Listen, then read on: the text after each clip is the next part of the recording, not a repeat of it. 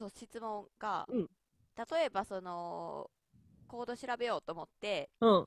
えっとロジックのたまちゃんが弾いてくれたやつをこう、うんクリックしてコード見なコードを取っていってってんけどででなんかそのえっ、と一番ベース音？うん。ベース音がやっぱ主軸なんかないや、ちゃうちゃうちゃう、絶対ちゃうねん。あ違うんだそう。だって絶対オンコードって出てくるやん。うんうんうんってさ、ってなる、なった場合さ、G フラットが主軸なわけ、あ、じゃあ、と、一番下の B フラットが主軸なわけじゃないやん。この場合は G マイナーが主軸で、たまたまその、ドシーラソって降りたい、ベースラインがそこに行きたいから、本来は、っていうのが C マイナー、G マイナー、ああ違う、C マイナー、G マイナー、D7、G マイナーっていうコードがあるとするじゃん？これやとでもダサいやん。だと朝礼みたいになっちゃうから、これをおしゃれに、で、ベースラインで下げてるだけやから、ベースは大事やねんけど、その G マイナーの方が大事やねん。うん意味合いとしてはね。はいはいはいだから G マイナーのオン B フラットって書くね。それをだから例えば B フラット6とか書いちゃ G- C マイナーの後に B フラット6っていうのはやねんけどあんまりここで B フラット6とか書かへんって感じかな。よりやっぱ G マイナーに帰属あの行きたい。き気持ち G マイナーに行きたいみたいなさわかるかな言ってること。なんとなく。要はそのマリちゃんの言ってるベースが一番大事かって言ったらそれこそだからさここのコードっていうのは g マイナーオン B フラットっていうのは分かるやんな。んもう一回もう一回やってこれははい。ソシレのはい音をここが一番ベースに来てるから、g マイはい。はいはいナーオン B フラットやんか。はいはいはいでもニュアンスとしてこれをた例えば今3つやから言えねんけどうん。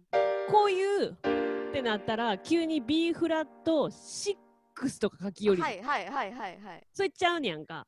それやったら。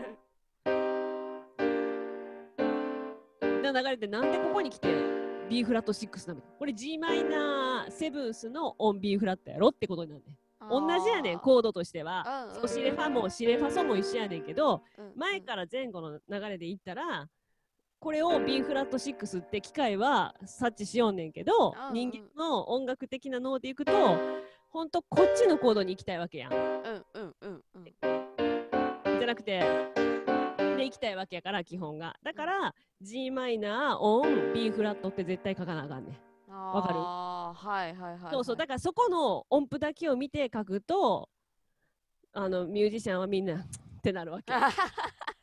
チってなられてる間違わけですね。ってないけどうん間違ってないけどいきなり違う蝶のもん入ってきたんやけみたいな気持ちになんねん。よそもん入ってきよったなこいつみたいな感じ。そうかうんうんうん。そうそう。違う家の人入ってきはったみたいな感じか。うん。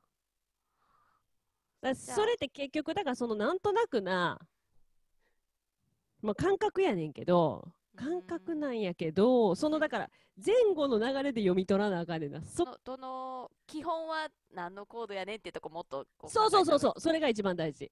なるほど、でもベースに弾いてほしい音を、うんえっと、楽譜としては音音 B とかお音で音そうそうそうそ書いとかなあかんってことですよね。う。そうだからあーたまにじゃないと C ド B フラット例えば B フラットうん。6って書いちゃったらベースの人はドンドンドシファーシーって弾いちゃうよねはいはいはいはいはいはいじゃなくって本当はとかさとか弾いてほしかったらこっちのコードやったら入ってへんやん。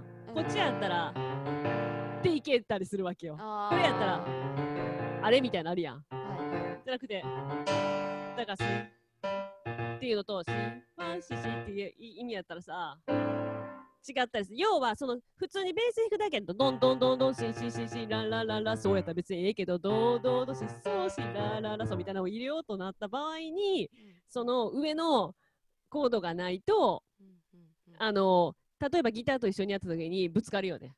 うんいろいろやるためにはやっぱりベースのためにも細かくうん、ちゃんとその理論的に分かるようにしといた方がいいんじゃない？かなって感じ。なるほど。まあでもミュージシャンみんな、あ、こういうことねって分かってくれるけどね。なんか譜面の C ディミニッシュ7ってなってたのがちょっと全部間違ってたんだよね。えっと、これ前のやつね。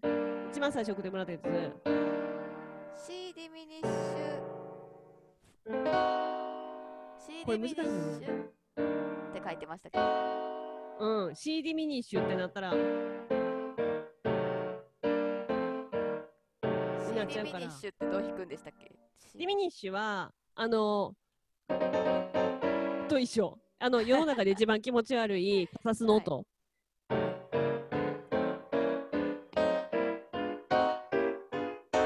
れが全部ディミニッシュかな。私はい。これコード変えた。あれ、どこやったっけ？で、なんかちょっと気持ち悪かったから、こっちにしたんだよね。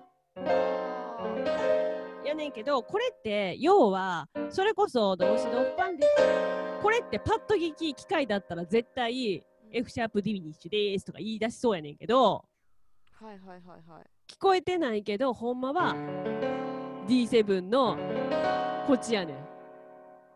D を例えば弾いてなかったも、っ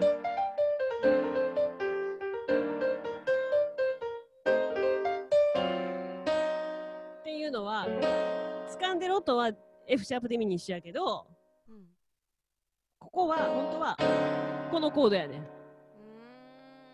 D は弾いて弾いてなかってもなかってもこれはレバラード D フ D7 のフラットナインスってことやね。これが普通のあれやから、えっ、と、ナインスやから、こフラットナインスが、これが聞いたら F シャープ、目で見たら F シャープディミニッシュ。でも、本当は、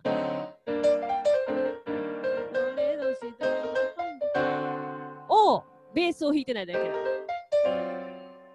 ってなってる。そういう時はえっ、と、ベーシストのために音なんとかって書いてそうそうそう。うだから、D、D、えっ、と、D7 フラットナインスオン F シャープ。ああなるほど。うん、ここで例えば F シャープディミニッシュとか書いてしまったら、こいつ何回とんねん？みたいな。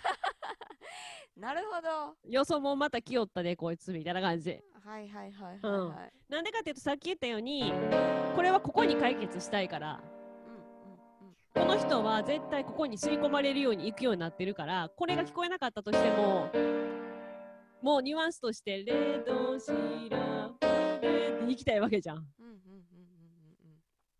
そうそうそうそうそう。